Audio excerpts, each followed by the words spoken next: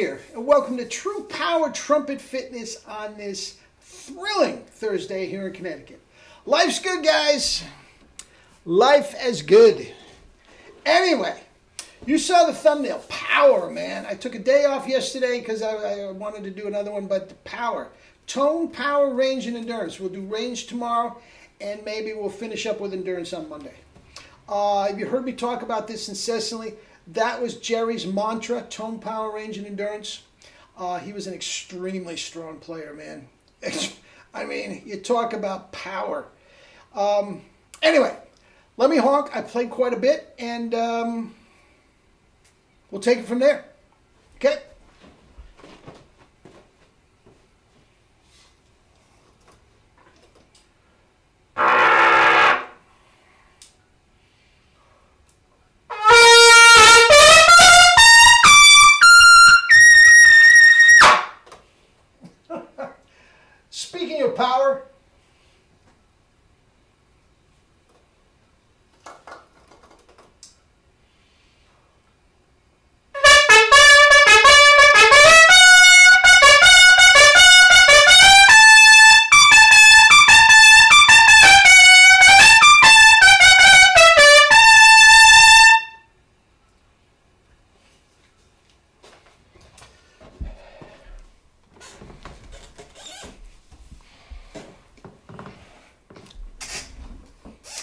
Anyway, serious, hellacious double C's and uh, a little tartini. Now, anyway, guys, here's the deal. Um, I have made no bones about it that I feel the uh, level of trumpet playing as a whole has gone down dramatically in recent generations. Okay? Uh, and what I am referring to specifically is tone and power. Okay? Now, there are lots of guys on the internet that can get a reasonable facsimile of a double C out. I don't even call them notes, but they do get reasonable facsimiles of double C's. Um, now, I, I think I used this term before, this phrase before. You take one of these internet double C guys and you put them next to in a, in a section of Lynn Nicholson, Stan Mark, and Nick Drozdoff, you're not going to hear one note they play. Not one. Any one of those three could overpower any of these internet sensations. And I haven't heard every internet sensation, guys. I'm not, I'm not uh, pointing anybody out. And so don't e- uh, email me or comment and say, I know who you're talking about. This guy. No, you don't know who I'm talking about. Okay, I'm not going to tell you. So, anyway, um, and it is the tone and power that um, sets them apart.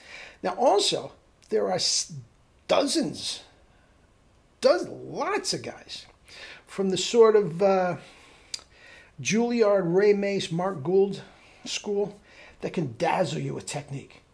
Dazzle you with technique. Do I want to hear them instead of Staigers, instead of Liberati? No, not even close. Why?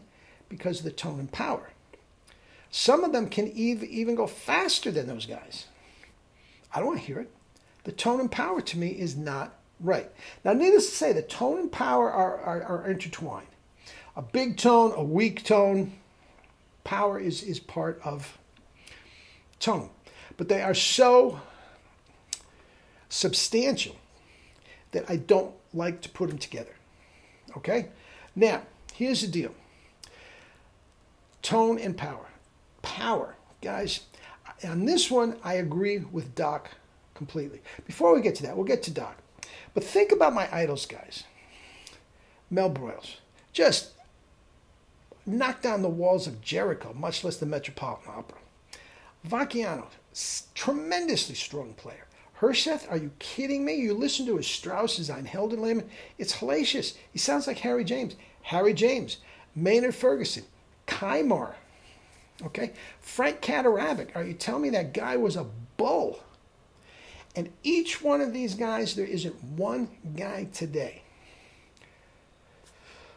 Herb, Str- Herb Smith. There's a couple guys I did a recent thing on. That they're in that ballpark, but nobody's playing like Mel.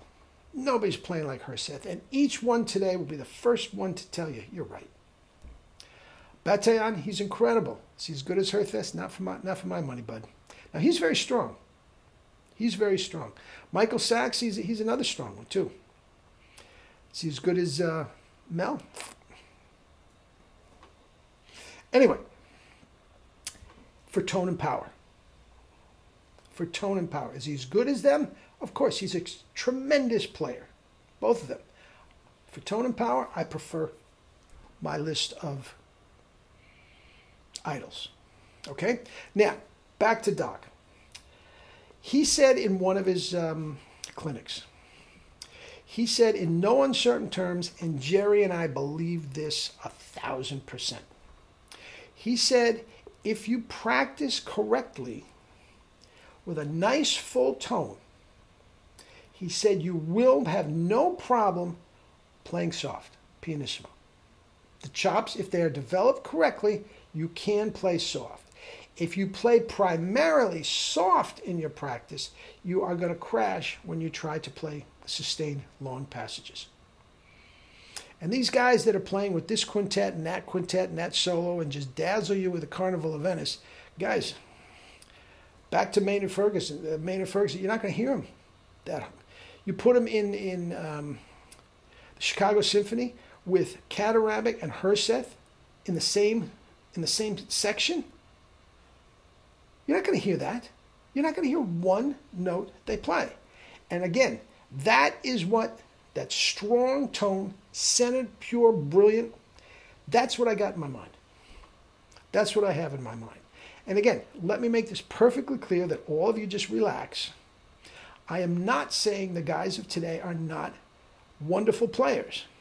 That component, the tone and power, and anybody that comes from my generation will back me up on this. It's different. And for my way of thinking, it's not for the better. Okay? The tone. The tone has to ring true and strong, whether you're playing in a big band, whether you're playing in a concert band, whether you're in a marching band and there's no acoustics and you, you have to, you know, split the goalposts with, with, with double C's, guys, it's got to be strong. And with the true power way and the 1SB, guys, you can play is just knock down the walls of Jericho with anyone if you want and caress the baby, play in a whisper. You're not straining, you're not hurting your lips. That's how to do it. Now, for my money, like Doc said, why wouldn't you just practice for the strength and have the soft stuff too? If you're practicing only with the soft stuff, you're not going to get the strength long term. It's going to collapse, especially in these mouthpieces. And that's another thing a mouthpiece that holds you when you're playing um, softly is probably not going to work when you try to put some air behind it. You're going to collapse in these Bach mouthpieces and stuff. All right? All right. Anyway, eat and drink your fruits and vegetables and live your life with true power. Love you all.